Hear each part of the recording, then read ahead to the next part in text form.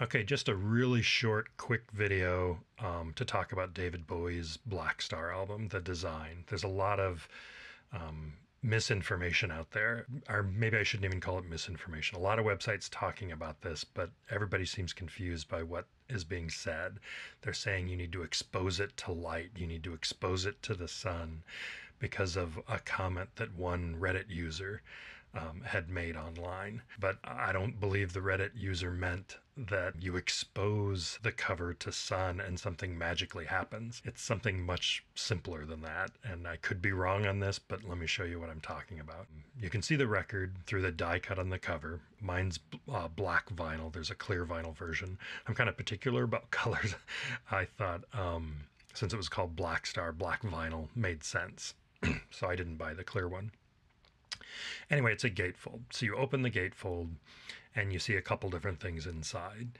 Um, one is there's kind of this monolith structure, like a tombstone of David Bowie, and just an image.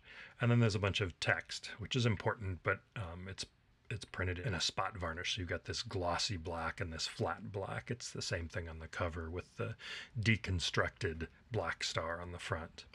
And then on the left side of the gatefold, there's just a simple star field, galaxies, nebula, a lot of stars.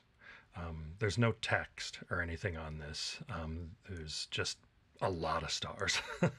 um, but the trick here is that, um, and there's no there's nothing on the inside of this cover, by the way. One website talked about a special paper that's inside. I don't think there's any special paper in anybody's albums, but I could be wrong.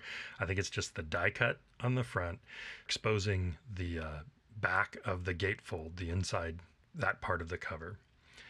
So the star field, if sunlight is shown through the back or any bright light, I'll just use a bright light on my desk here. If I shine a bright light from behind that gatefold, you see the star field that's printed on the inside of the gatefold.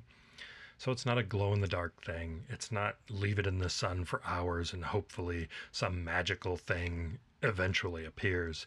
It's just a very simple design where light is shown from the back and what was printed on the inside can be seen from the outside. So ironic that somebody like me who creates these silly videos of, about cleaning vinyl and etc needs to clarify this for people um, when I'm spreading disinformation myself. But I, I just wanted to clarify that really quick.